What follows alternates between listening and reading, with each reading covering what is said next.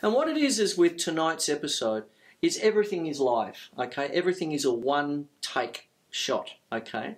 And what happens, there's no overdubs.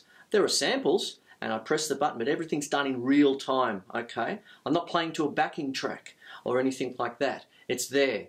There's the sound. There's the Gregorian chant. That could be in D, low D. And then the, um, the Air app comes in, Brian Eno's Air app sort of thing through the um, iPhone. And then what happens with that? The tonality of that is F. So I've got a D against an F. Now they're relative major, relative minors, do you see, They are against each other. D minor against an F major. You see things like that. So you start to have polytonality, you know, that kind of thing where one works against the other. And it's not that far removed. They're connected because they're relative scales, do you see? And what happens with that then is that I'll, I'll start to talk about polymeter like I was just clapping. Okay, so I might be working um, on something that's a 3 4, but then with the 3 4, 1 and 2 and 3 and 1 and 2 and 3, and I might bring in a hemiola which is usually sounds like something you need a cream for. That's my joke for it. But a hemiola is the feeling of playing 6 8 over the top of 3 4. When you've got 3 4, in quavers it's 1 and 2 and 3 and.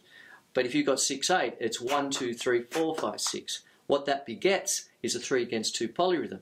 You see, so you get 1, 2, 3, 1, 2, 3, 1, 2, 3, 1, 2, 3, 1, 2, 3, 1, 2, 3, 1, 2, 3, 1, 2, 3. That's what it is there. So there you go. And what starts to happen with that is that when you've got a polyrhythm, okay, and then you're sitting there, you can work off the three.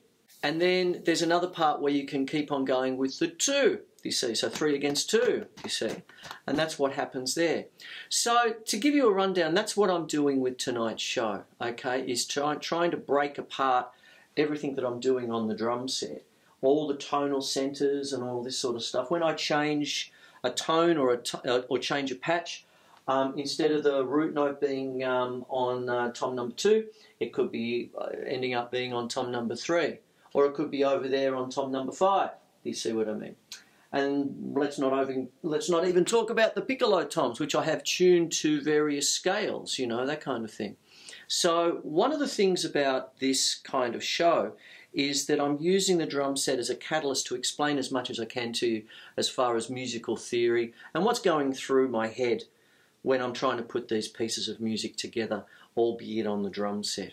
Anyway, I hope you enjoy the show, and that's uh, what it's all about. My name's Chris Quinlan. There you go. Thank you.